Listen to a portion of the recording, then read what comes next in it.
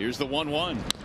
That's rounds right back up the middle and a diving play by Polanco. Backhanded flip for the out. Are you kidding? Rondell came by a hit right now. What a play by Placido Polanco.